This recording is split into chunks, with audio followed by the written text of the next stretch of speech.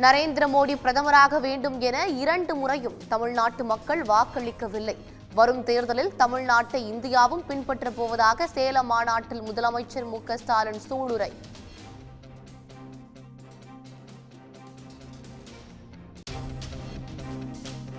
மாநிலங்களை வெறும் ஏடிஎம் இயந்திரங்களாக மட்டுமே ஒன்றிய பாஜக அரசு பயன்படுத்துவதாக முதலமைச்சர் மு ஸ்டாலின் காட்டம். எந்த சட்டம் கொண்டு வந்தாலும் மாநிலங்களை மதித்து ஆலோசனை நடத்துவதில்லை என்றும் குற்றச்சாட்டு.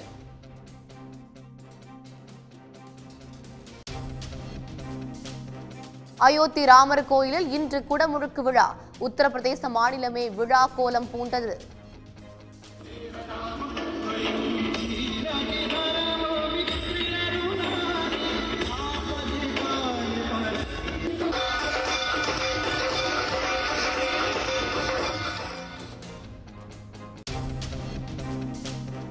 பத்தாயிரம் ட்ரோன்கள் அதிநவீன சிசிடிவி கேமராக்கள் என அயோத்தியில் உச்சக்கட்ட பாதுகாப்பு.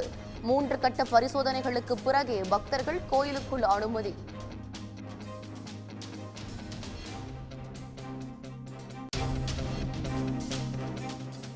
பில்கிஸ் பானு வழக்கில் பதினோரு குற்றவாளிகளும் போலீசில் சரண். உச்சநீதிமன்றத்தின் கெடு முடியிருந்த நிலையில் சரணடைந்த பதினோரு பேரும் சிறையில் அடைப்பு.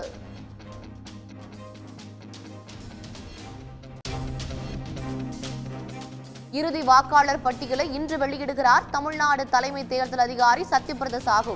மாநிலம் முழுவதும் அந்தந்த மாவட்ட ஆட்சியர்கள் பட்டியலை வெளியிடுகின்றனர்.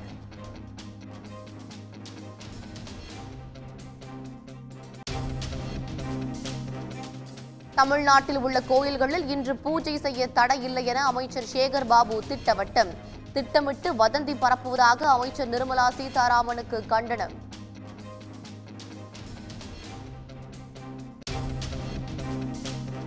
அசாமில் ராகுல் காந்தியின் இந்திய ஒற்றுமை நீதி பயணத்தில் பாஜகவினர் திரண்டு ரகளை.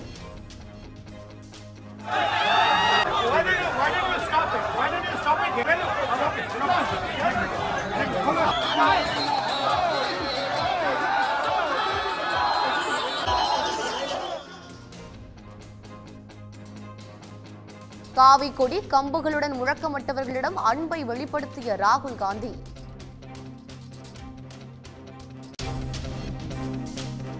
ஆந்திராவில் காங்கிரஸ் தலைவர் ஒய் எஸ் ஷர்மிளாவின் பேரணி தடுத்து நிறுத்தம். காங்கிரஸ் கட்சியை பார்த்து ஜெகன்மோகன் அரசு பயப்படுவதாக ஷர்மிளா விமர்சனம்.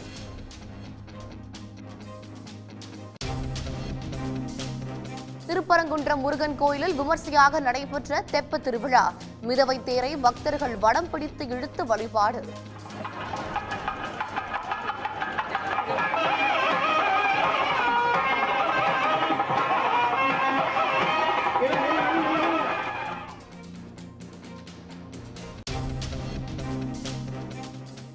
மதுரையில் நடைபெற்ற பஞ்சாபின் பாரம்பரிய கட்கா போட்டி. ஆடவர் மற்றும் பெண்கள் பிரிவில் தமிழ்நாடு அணி வென்று அசத்தல்.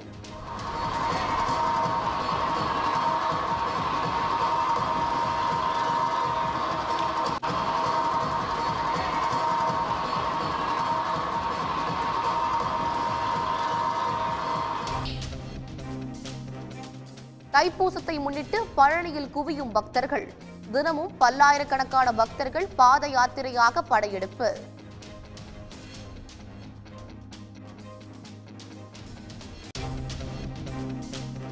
சென்னையில் நடைபெற்று வந்த நாற்பத்தி ஏழாவது புத்தக காட்சி நிறைவு.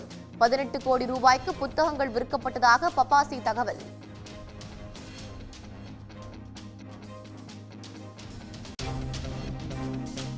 கேலோ இந்தியா போட்டிகளில் பதக்கங்களை குவிக்கும் தமிழ்நாடு அணி. நான்கு தங்கம் உள்பட ஆறு பதக்கங்களுடன் தொடர்ந்து முதல் இடம். உடனுக்குடன் செய்திகளை தெரிந்து கொள்ள சன் நியூஸ் பெல் ஐகானை கிளிக் பண்ணுங்க.